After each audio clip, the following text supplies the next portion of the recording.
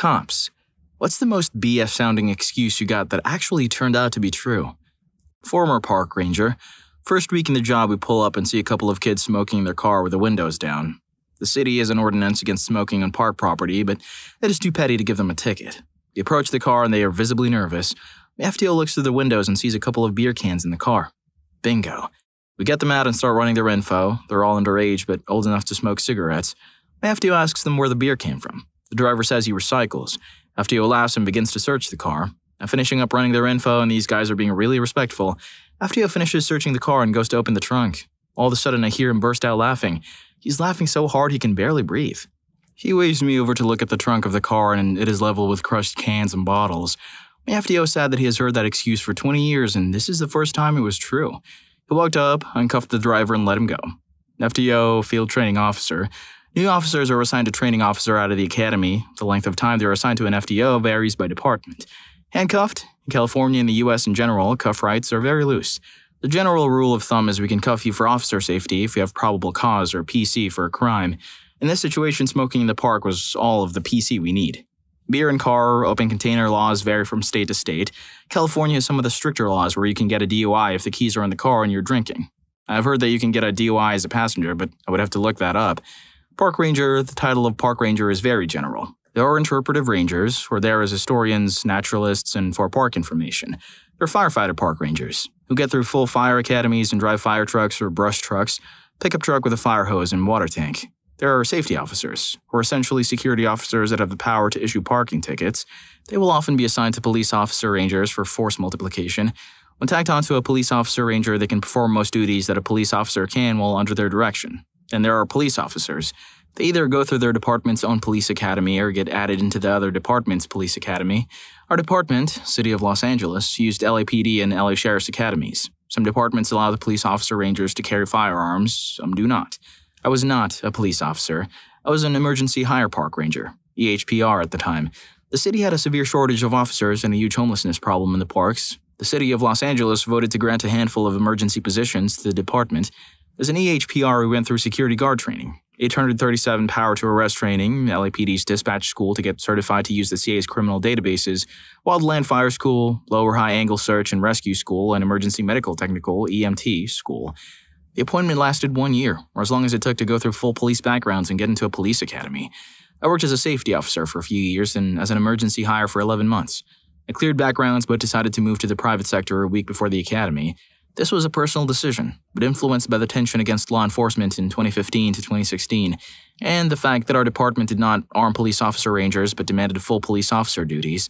I have tremendous respect for police officers, and especially for the police officer rangers that are unarmed performing police duties. Those dudes have that clank. Don't quote me on the legal stuff. It is likely I am wrong.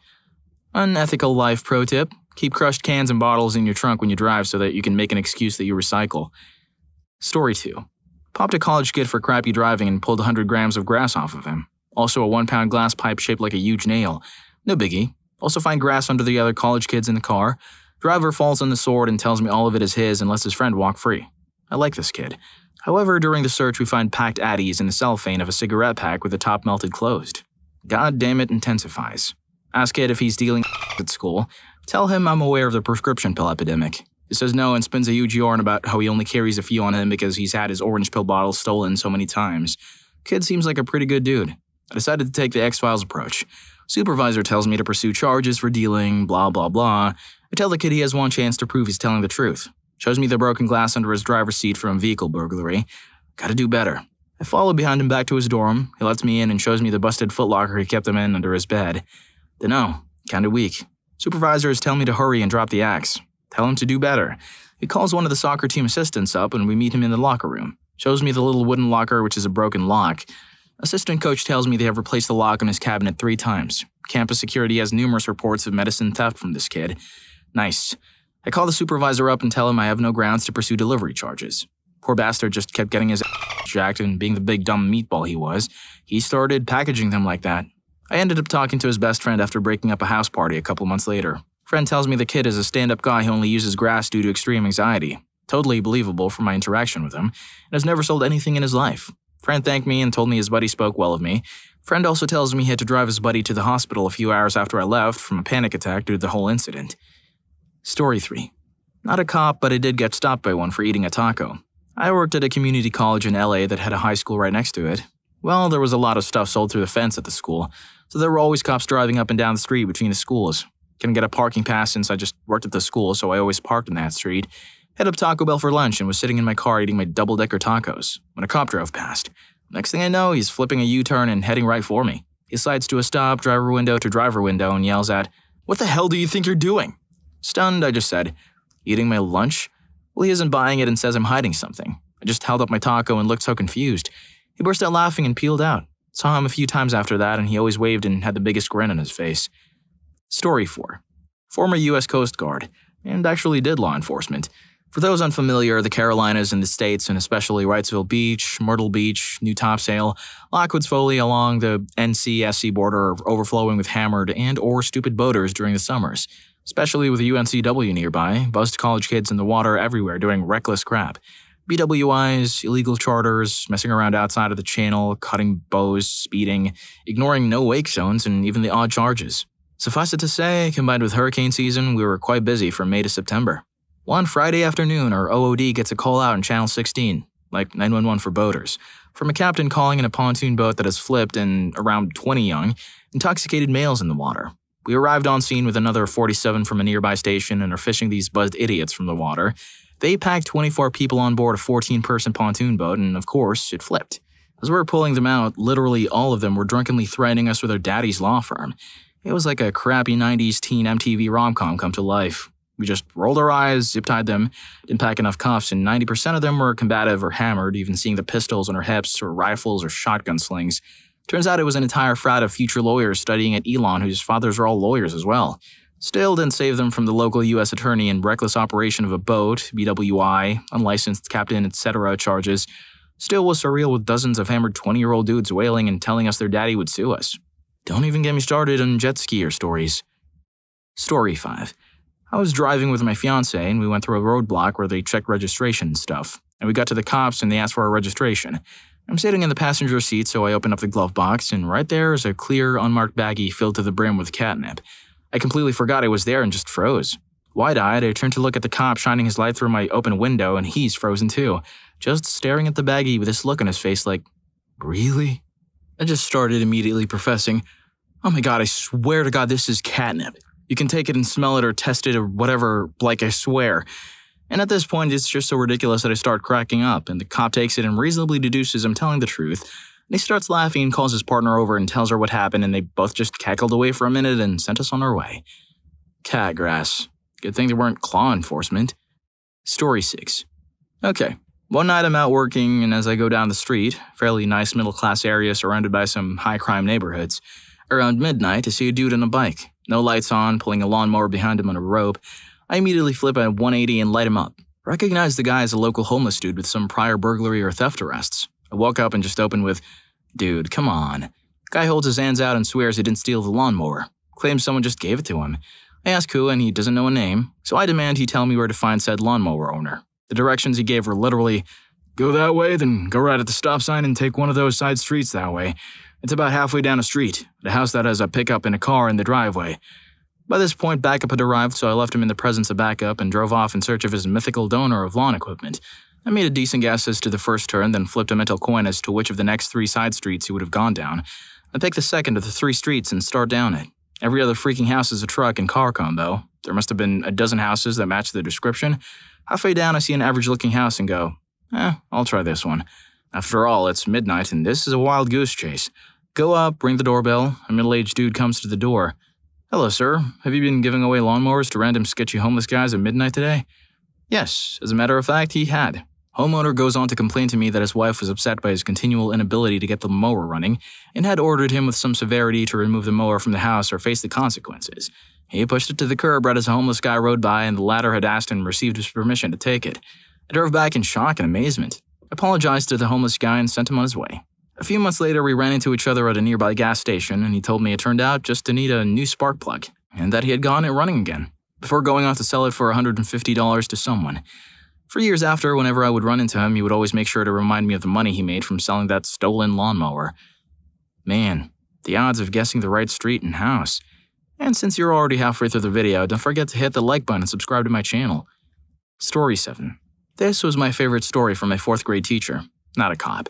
She went to a cousin's wedding in mid July. The cousin had overestimated how much champagne they would need at the reception and was giving away bottles to anyone who was interested.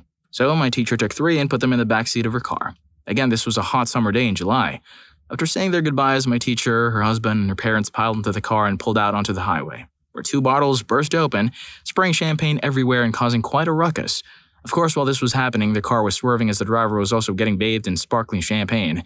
So it came as no surprise that as soon as they collected themselves, they saw the familiar flashing lights of a state trooper and pulled over. According to my teacher, the first thing the cop said was, I'm not going to ask if you've been drinking because I can smell it from here. My teacher tried explaining what had happened, but the cop wouldn't hear of it and ordered everyone out of the car. That's when the cop saw that everyone, both drivers and passengers, were dressed in their finery but soaked with champagne and looking quite shaken. A cursory search showed the open bottles, but the cop still insisted on a quick sobriety test just to make sure. Story 8. I was this person for some two lucky cops. So it's the holiday season a few years ago. I work at a coffee shop at the time and go to a coworker's New Year's ugly sweater party or some crap. Have a few drinks until 10 p.m., then switch to water. My one friend gets to talking to me about tea because we work with coffee and tea. Gives me a tea bag and a plastic baggie. I put it in my pocket. 2 a.m. rolls around and I leave, but I'm tired as hell. I wanted to get home and get to sleep, so I'm blasting music to keep me awake and probably going a little too fast, but not drastically so. Anyway, the party lights kick on behind me and I pull over. I go through the questions. Where are you coming from? Where are you going? Have you been drinking? Doing anything else? I blow clean in the breathalyzer, I work the line fine, balance on one leg, then one of the cops pats me down and reaches my pocket. Him. Son, what do you have in your pocket? I know how ridiculous I'm about to sound. It's tea, officer. Him, about as dubious as you can expect. You expect me to believe you have tea in your pocket. Me. My friend gave it to me. At this point, his partner looks to be trying not to laugh at the absurdity of the situation. The cop in front of me looks over his shoulder at his partner in a, you believe this guy? sort of way, then back to me. Him. Get it out. He holds out his hand while I fumble around and withdraw the plastic baggie from my pants pocket, complete with a single serving of tea neatly labeled, and hand it to the suddenly bewildered officer. Him. Why the hell do you have tea in your pocket? He asks. Me. I like tea, officer.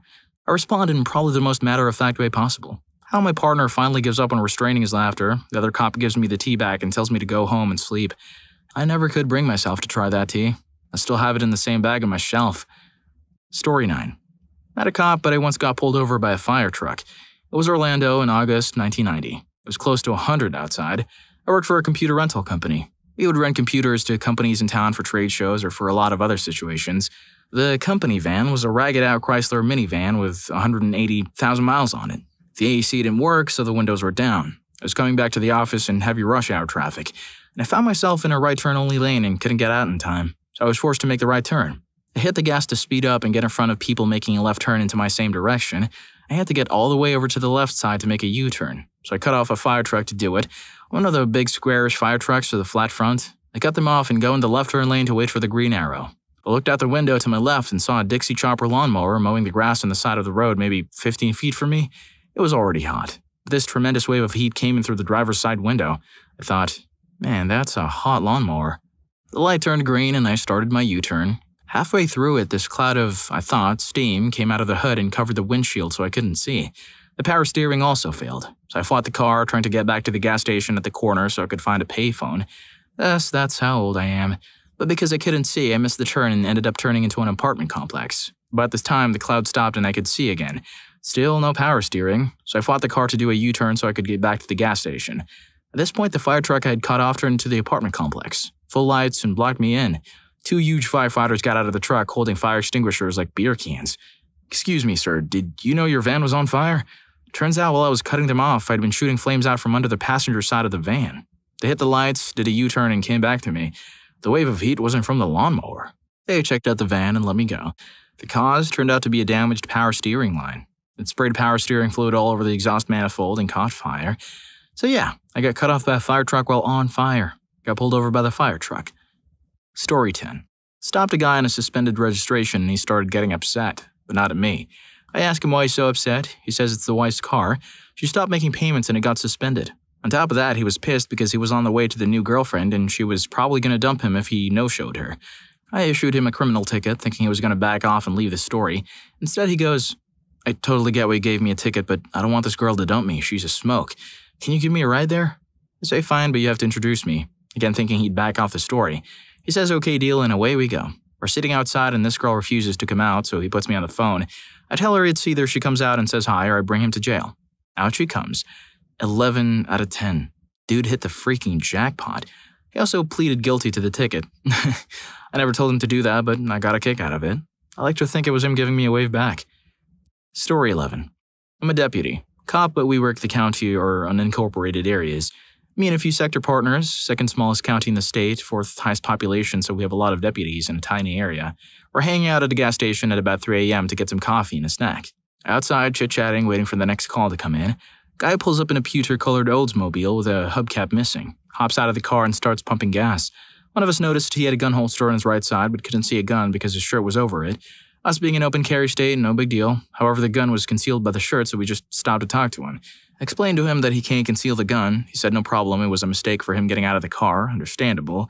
Other partner looks in the passenger side of the car and there's a fist-sized saran wrap bag of white powder with multiple $20 bills underneath it sitting on the passenger seat right in plain view. Now, to us, a gun, a large sized bag of white powder, with a good bit of money underneath, appears to be substance related. Start asking the guy, like, Yo, what is this crap and why is it just on your seat? He says, Oh, it's powdered wall plaster. I just got it from my grandma. It's 3 a.m. at a gas station. I mean, come on, we're cops, so by all means, we aren't the smartest people on the planet, but we ain't stupid. Or so we thought. Turns out the dude is 100% telling the truth. Gun was legal and legally obtained. His only history we could dig up was speeding tickets and a simple affray charges from years ago. Grandma gave him the plaster so he could fix a hole in his wall and he didn't have cash to buy it himself, so she spotted him some moolah. Needless to say, he's got a funny story to tell, and I guess now I do too. It was super understanding, and even himself said it was hilarious because it absolutely looked like pure ice and it looked like a huge amount. At least for lowly street deputies. I hope you enjoyed the video, and if you made it this far, I'm sure you'll also enjoy. Undercover Cops, what's the wildest thing you did just so you won't blow your cover? Story 3 was epic. See you in that video.